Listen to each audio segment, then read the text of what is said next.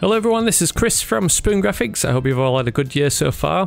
It's been a while since I last created a year-end roundup of my best performing tutorials, the last one being way back in 2018. So I thought I'd take a look at my greatest hits over the last 12 months of uploads to see which tutorials performed the best. I had a big hitter this year which really helped my channel grow, so stick around till the end to find out which tutorial it was. But first let's take a look at the latest channel stats. Throughout 2021 my channel managed to accumulate 4.9 million views and gain 73,000 subscribers, making the current total 468,904 subscribers at the time of recording, so it's not too far away from the big milestone of 500,000. Well, the Social Blade website predicts another 100 days yet, so maybe it's something to look forward to next year. So skipping past all the tutorials that didn't make the cut, coming in at 10th place this year was my Illustrator tutorial showing how to create a money text effect with 13,000 views. In this video I show how you can create a vintage style engraved text effect, just like the illustrations you see on paper money or banknotes, using nothing but Illustrator's appearance panel. At 4 minutes 18 seconds it's also my shortest video this year. Coming in at number 9 is my tutorial how to create a vintage aircraft nose art pinup effect in Photoshop. This tutorial was actually a remake of the same effect from back in 2019, but using other stock images to create a different result. Given its popularity I'll have to start recycling more tutorials every couple of years. Another tutorial that was kinda recycled was my video how to create a vintage badge logo in Adobe Illustrator.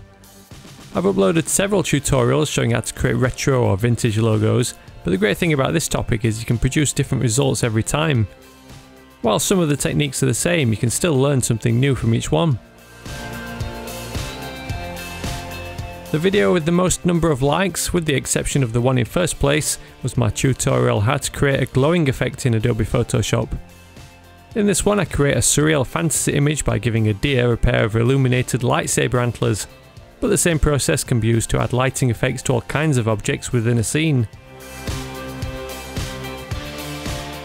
In sixth place is a video I've referenced in many subsequent tutorials since I uploaded it in May, which has probably helped with its overall total of almost 17,000 views. This tutorial shows how to manually create the distressed letterpress print effect that I often add to designs at the end of a tutorial using my free ink stamp texturizer download from Spoon Graphics.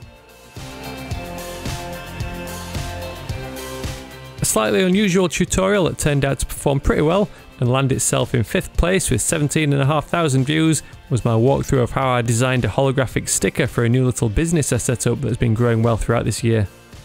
It was a great opportunity to explain how to design something for print and actually show the finished product. Next up with just over 20,000 views is another retro badge tutorial, but this time the design is more of a national park style patch. So this was another tutorial where I made use of a Photoshop embroidery action. The techniques used in this tutorial can actually be used to create all kinds of artwork, so it's a good one to watch if you're looking to get the hang of Illustrator.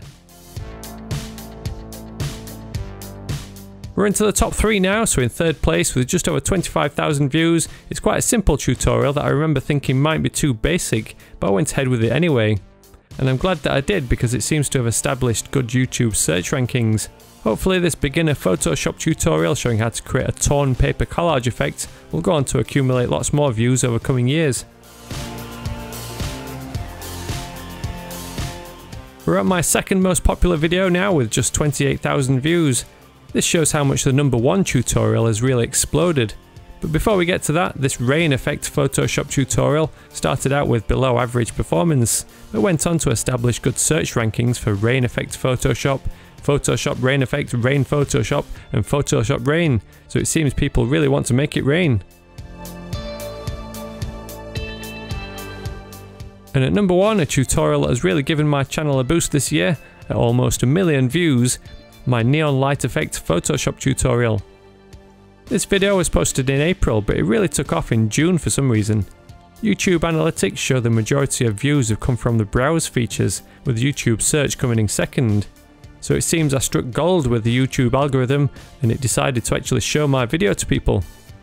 This one video alone introduced an additional 20,000 subscribers, so if you're one of those, thank you for joining us. I hope you've enjoyed some of my other tutorials since April.